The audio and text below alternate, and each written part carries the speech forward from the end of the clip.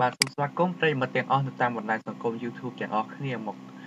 នៅថ្ងៃនេះ Channel Server បង្វែរអារម្មណ៍ប្រិយមិត្តទាំងអស់មកតាមដាននៅព័ត៌មានថ្មីមួយទៀតហើយបាទគឺពាក់ព័ន្ធជាមួយនឹងប្រទេសអាមេរិកបាទកុំឲ្យខាតពេលយូរយើងទៅតាមដានទាំងអស់គ្នាកងទ័ពអវកាសដំបងបំផុតហេតុអ្វីអាមេរិកចាំបាច់ត្រូវតែបង្កើតវាឡើង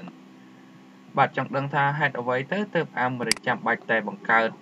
កងទ័ពអាកាសនេះឡើងតើព្រោះតែហេតុអ្វីទៅ វ៉ាស៊ីនតោនខណៈដែលអាមេរិកនាពេលថ្មីថ្មីនេះទៅតែបានបង្ហាញគម្រោងអំពីការបង្កើតកងទ័ពអាកាសសាស្ត្រាចារ្យម្នាក់មកពីមហាវិទ្យាល័យក្នុងទីក្រុងឡុង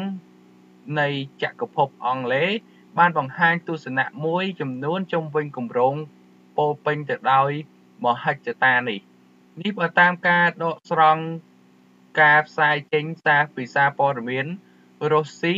នៅល្ងាចថ្ងៃច័ន្ទទី11ខែសីហាឆ្នាំ2018នេះតេតិនទៅនឹងការងើយឆ្ងល់ដែរថា ការបង្កើតកងកម្លាំងប្រចាំទីអវកាសជារឿងចាំបាច់ឬហើយហើយអាចនាំទៅរកបញ្ហាចំនួននៅទីនោះដែរឬទេយ៉ាងណាឬយ៉ាងណានោះទេលោក Haspen បានលើកឡើងថា តម្រូវការនៃកងទ័ពអាកាសនៅសហរដ្ឋអាមេរិក គឺមានតាំងពីយូរណាស់មកហើយ ប៉ុន្តែពុំធ្លាប់មានការព្រមព្រៀងគ្នានោះទេ ទោះបីជាបែបនេះក្តីលោកត្រាំហាក់ដូចជាកំពុងតែពុះពៀឆ្លងកាត់ជាមួយនឹងរឿងនេះ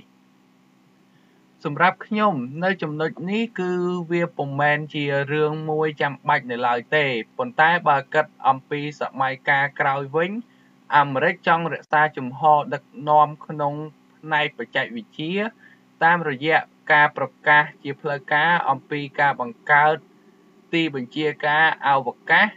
នេះបើតាមការបញ្ជាក់ពីលោក Haas ដែលកំពុងតែតាមដាន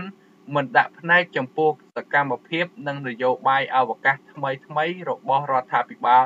ត្រាំផងដែរជុំវិញសំណួរ មួយផ្សេងទៀតថាតើគម្រោងនេះអាចបង្កឲ្យ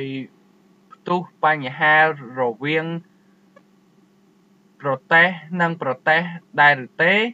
ឬក៏លោកសាស្ត្រាចារ្យផែនបានបន្តថាគណៈធនធាននៅលើផែនដីកាន់តែខ្សត់ខ្សោយទៅ ហើយមនុស្សលោកចាប់ផ្ដើមរុករកទីអវកាសបានកាន់តែឆ្ងាយ សំណួរតេតិននឹងទីអវកាសពុំមែនពាក់ព័ន្ធតែនឹងការប្រមូលផ្ដុំសក្តានុពលក្នុងការប្រយុទ្ធនិងធ្វើសង្គ្រាមប៉ុណ្ណោះទេ តែក៏មានការតាក់ទងនឹងមធ្យោបាយដែលយើងនឹងត្រូវធ្វើដើម្បីបន្តកិច្ចការប្រចាំថ្ងៃនាពេលអនាគតពាក់ព័ន្ធទៅនឹងដំណើរការវិវត្តនៃវិស័យឧស្សាហកម្មនិងការបម្រែបម្រួលនៅបច្ចេកវិទ្យានៅក្នុងសង្គមជាដើម។ គួរជម្រាបដែរថា បើតាមសេចក្តីប្រកាសរបស់អារបស់អនុប្រធាន ប្រធានាធិបតីអាមេរិកនាដើមសប្តាហ៍នេះកងទ័ពអាកាសរបស់អាមេរិកនឹងត្រូវលេបរូប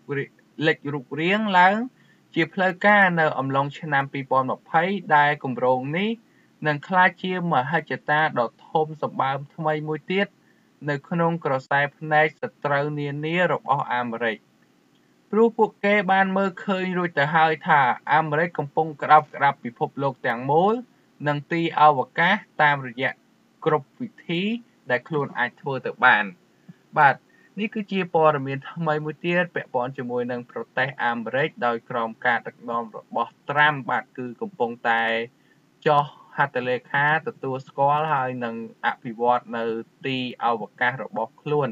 បាទគឺដែលគេហៅថាកងទ័ពអវកាសរបស់សហរដ្ឋអាមេរិកបាទចំពោះអត្ថបទនេះ Channel Savot ក៏សូមបញ្ចប់ត្រឹមប៉ុណ្្នេះសិនបាទសូមអរគុណសម្រាប់តាមដានទាំងអស់គ្នាបាទសូមអរគុណសូមជម្រាបលា